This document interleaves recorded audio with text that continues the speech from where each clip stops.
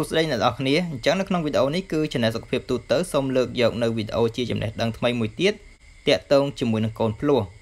ដែលមានបងប្អូនជាពលរដ្ឋយើងមួយចំនួនធំគាត់តែងតែឆ្ងល់ថាហេតុអីកូនភ្លោះខ្លះ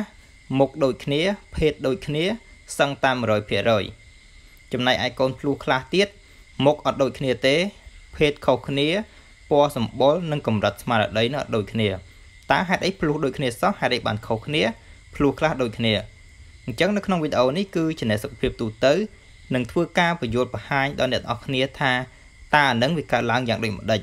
ដើម្បីកុំឲ្យអ្នកនរគ្នានៅបន្តចម្ងល់នឹងរហូតតទៅទៀតតែឥឡូវយើងធ្វើការស្ដាប់ដោយយកចិត្តទុកដាក់ទាំងអស់គ្នាតែម្ដងទៅអញ្ចឹងខ្ញុំសូមលើកយកចំណុចសំខាន់មួយទាក់ទងជាមួយនឹងកូនភ្លោះដែលមានមុខមាត់ពណ៌សម្បុរនិងភេទដូចគ្នាមកនិយាយជាមុនសិន ប៉ុន្តែអ្វីដែលខ្ញុំនិយាយនេះអ្នកនរគ្នាមិនបាច់ស្មុគស្មាញទេគឺខ្ញុំនិយាយឲ្យស្រួលយល់ទេខ្ញុំមិននិយាយចូលលក្ខណៈបច្ចេកទេសពេទ្យទេអញ្ចឹងអ្នកនរគ្នាស្ដាប់ទៅនឹងយល់ឲ្យថាមកពីអីណាអញ្ចឹងយើងដឹងហើយថាការបង្កកំណើតកើតចេញជាកូនហ្នឹងគឺវាកើតឡើងដោយសារតែមានមេជីវិតញីនិងមេជីវិតឈ្មោលដែលវាជួបគ្នាតាមរយៈការរួមភេទហ្នឹងទើបបង្កើតឲ្យមានការបង្កកំណើតហើយវិវត្តឲ្យទៅជាទៅជាកូនអញ្ចឹងកូនភ្លោះដែលមានមុខមាត់ដូចគ្នា ពណ៌សម្បុរដូចគ្នា ភេទដូចគ្នាអាហ្នឹងគេហៅថាកូនភ្លោះ monozygote ឬក៏យើងនិយាយថាកូនភ្លោះពិតឬក៏កូនភ្លោះដូចគ្នា កូនភ្លោះនឹងវាកើតឡើងដោយសារតែមេជីវិតឈ្មោលមួយ ជួបជាមួយនឹងមេជីវិតញីមួយ ជាធម្មតាស្ត្រីក្នុងមួយខែ គឺគាត់ធ្លាក់មេជីវិតញីនឹងមកតែមួយទេជាទូទៅហើយគាត់ធ្លាក់មកតែម្ដងទេហើយអ្វីដែលអ្នកនរគ្នាដឹងទៀតនោះគឺថានៅពេលដែលមេជីវិតញីមួយ ជួបជាមួយមេជីវិតឈ្មោលមួយវាបង្កើតឲ្យបានទៅជាទៅជាកូនមួយប៉ុន្តែហេតុអីបានវាជួបគ្នានៅពេលនេះបង្កើតទៅជា ទៅជាកូនពីរដែលហៅថាកូនភ្លោះហ្នឹងអញ្ចឹងកាលណាមេជីវិតញីមួយជួបជាមួយនឹងមេជីវិតឈ្មោលមួយធ្វើឲ្យមានការបង្កកំណើតបង្កើតទៅជាកូនភ្លោះហ្នឹងដោយសារតែក្រោយពេលដែលវាជួបគ្នាហើយដូចក្នុងរូបដែលខ្ញុំដាក់អញ្ចឹងបានន័យថាវាបំបែកខ្លួនជាពីរបានន័យថាមេជីវិតញីមួយនិងមេជីវិតឈ្មោលមួយក្រោយពេលដែលវាជួបគ្នាបង្កើតជាការបង្កកំណើត វាបំបែកខ្លួនទៅជាពីរបានន័យថាបំបែកខ្លួនទៅជាកូនពីរនៅក្នុងហ្នឹងណាអញ្ចឹងកូនភ្លោះទាំងឡាយណាដែលកើតចេញតាមរយៈហ្នឹងគឺនឹងឲ្យចេញជាមុខមាត់ដូចគ្នាពណ៌សម្បុរដូចគ្នាភេទដូចគ្នាទៀតនិយាយទៅគឺកូនភ្លោះដែលមានមុខមាត់ដូចគ្នាបេះបិទ100%តែម្ដងហើយកូនភ្លោះមួយប្រភេទនេះគឺវាមានតោងសុកពីរផ្សេងគ្នាប៉ុន្តែវាស្ថិតនៅក្នុងថងទឹកភ្លោះតែមួយអាហ្នឹងគឺជាកូនភ្លោះ ដែលគេហៅថា monozygote ឬក៏យើងនិយាយថាកូនភ្លោះមុខដូចគ្នាឬក៏យើងនិយាយសាមញ្ញថាកូនភ្លោះពិតទៅបានហៅវាដូចគ្នាគឺវាកើតឡើងដោយសារអញ្ចឹងដោយសារតែមេជីវិតញីមួយជួបជាមួយនឹងមេជីវិតឈ្មោលមួយបន្ទាប់មកវាបំបែកខ្លួនទៅជា ទៅជាកូនពីរនៃការបង្កកំណើតហ្នឹងអញ្ចឹងឲ្យយល់ឯហ្នឹងណាឥឡូវយើងនិយាយអំពីកូនភ្លោះដែលមានមុខមាត់ខុសគ្នា អាចភេទខុសគ្នា មានពណ៌សម្បុរខុសគ្នា និងមានកម្រិតបញ្ញាស្មារតីនឹងខុសគ្នាទៀត កូនភ្លោះហ្នឹងណាអញ្ចឹងសួរថាតើកូនភ្លោះហ្នឹងវាកើតឡើងយ៉ាងដូចម្ដេចកូនភ្លោះនេះគឺវាខុសគ្នាជាមួយនឹងអាកូនភ្លោះមិញជាធម្មតាស្ត្រីក្នុងមួយខែគាត់ធ្លាក់មេជីវិតញីមកទៅមួយទេប៉ុន្តែសម្រាប់កូនភ្លោះដែលដែលមានមុខមាត់ខុសគ្នានេះឬក៏ភេទខុសគ្នានេះអានេះគេហៅថា dizygote គឺវាកើតឡើងដោយសារតែមេជីវិតឈ្មោល2ហ្នឹងជួបជាមួយនឹងមេជីវិតញី2បើន័យថានៅពេលដែលគាត់រួមភេទទៅ ស្ត្រីហ្នឹងរាល់ខែធ្លាក់មកមេជីវិតតែមួយទេប៉ុន្តែស្រាប់តែខែនេះចៃដនអីធ្លាក់មកមេជីវិត2វាអាចធ្លាក់នៅដៃស្បូតទាំងសងខាងមួយខាងមួយមួយខាងមួយអញ្ចឹងមកបន្ទាប់មកក្រោយពេលដែលគាត់រួមភេទទៅមេជីវិតហ្នឹងវាធ្លាក់មកវាបានជួបជាមួយនឹងមេជីវិតឈ្មោល2ដែរអញ្ចឹងក្រោយពេលដែលវាជួបគ្នាធ្វើការបង្កកំណើតវាបង្កើតទៅជាកូនពីរផ្សេងគ្នាអញ្ចឹងកូនហ្នឹងក្រោយពេលដែលវាកើតចេញជាកូនវាមានតោងសុកមួយផ្សេងគ្នា ថងទឹកភ្លោះមួយផ្សេងគ្នាហើយនឹងកូនមួយទៀត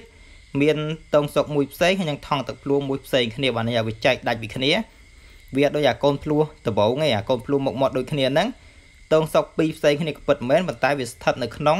ស្រោមទឹកភ្លោះតែមួយប៉ុន្តែអានេះវាហាក់ដូចជាកូនពីរដាច់ដោយឡែកពីគ្នាតែម្ដងអញ្ចឹងកូនទាំងពីរនេះគឺវាកើតឡើងដោយសារតែមេជីវិតញីនេះធ្លាក់មកពីរសម្រាប់ខែហ្នឹងណាអញ្ចឹងនៅពេលដែលវាធ្លាក់មកពីរ វាធ្វើការបង្កកំណត់ពីរផ្សេងគ្នាទៅបង្កើតឲ្យទៅជា ទៅជាកូនហ្នឹងពីរផ្សេងគ្នាដែរអញ្ចឹងជួនកាលវាអាច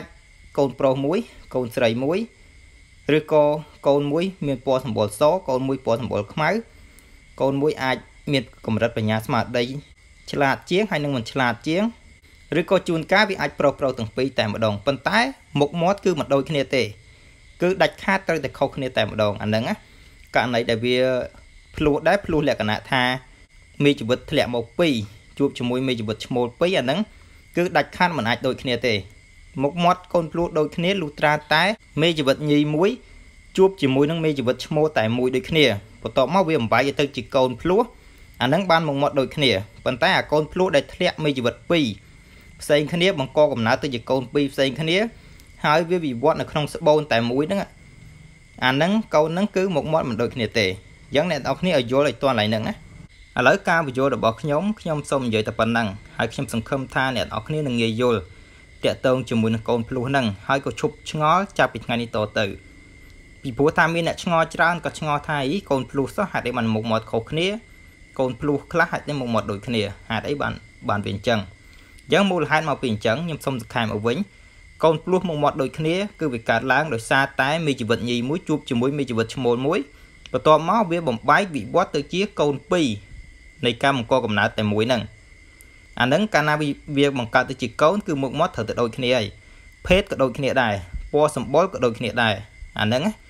ប៉ុន្តែអាកូនភ្លោះដែលមានមុខមាត់ផ្សេងគ្នាភេទខុសគ្នាអាចប្រុសមួយស្រីមួយហើយមានពណ៌សម្បុរអាចខ្មៅអាចសខុសគ្នាហ្នឹងអាហ្នឹងដោយសារតែមេជីវិតញីធ្លាក់មកពីរសម្រាប់ខែហ្នឹងពីព្រោះថាជាទូទៅស្ត្រីធ្លាក់មកមេជីវិតតែមួយទេក្នុងមួយខែ ហើយមេជីវិតញីមួយហ្នឹងវាត្រូវការតែមេជីវិតឈ្មោលមួយទេมันអាចថាមេជីវិតញីតែមួយហ្នឹងត្រូវការមកកកំណើតជាមួយមេជីវិតឈ្មោលពីរគឺអត់ទេ គឺត្រូវការតែមួយទេប៉ុន្តែសម្រាប់អាខែដែលវាធ្លាក់មកពីរនេះចាយដន់ណាអញ្ចឹងវាតម្រូវឲ្យមានមេជីវិតឈ្មោលពីរដែរពីព្រោះថាមេជីវិតពីរផ្សេងគ្នា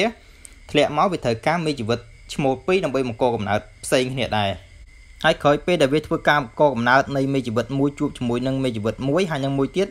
មេជីវិតញីមួយជួបជាមួយមេជីវិតឈ្មោះមួយទៀតហ្នឹងវាបង្កើតបានជាកូនពីរផ្សេងគ្នាគឺមានតងសុកអញថងទឹកភ្លោះហ្នឹងផ្សេងដាច់ដライពីគ្នាអត់មានលោកឡំអត់មានជាប់គ្នាទេប៉ុន្តែវាវិវត្តនៅក្នុងស្បូនតែមួយបន្ទាប់មកក្រោយពេលដែលកើតមកអាចប្រុសមួយអាចស្រីមួយឬក៏ប្រុសទាំងពីរឬក៏ស្រីទាំងពីរប៉ុន្តែមុខមាត់គឺមិនដូចគ្នា100%ទេគឺខុសគ្នាតែម្ដងអាហ្នឹងតាក់ទងជាមួយនឹងកូនភ្លោះប្រភេទហ្នឹងអញ្ចឹងឲ្យតោះឡើយហ្នឹងណា អញ្ចឹងជាចុងក្រោយគឺ Channel សុខភាពទូទៅសូមធ្វើការចែកម្លែកតែប៉ុណ្ណឹងប្រសិនបើអ្នកទាំងអស់គ្នាមានចម្ងល់តាក់ទងជាមួយនឹងវីដេអូនេះអាច comment សួរបន្ថែមទៀតបានហើយបើសិនជាអ្នកទាំងអស់គ្នាគិតថារាល់វីដេអូទាំងអស់ដែលស្ថិតនៅក្នុង Channel របស់ខ្ញុំតាមរយៈការចែករំលែករបស់ខ្ញុំនឹងមានសារៈសំខាន់សូមអ្នកទាំងអស់គ្នាធ្វើការចុច Subscribe នៅ Channel នេះម្នាក់មួយ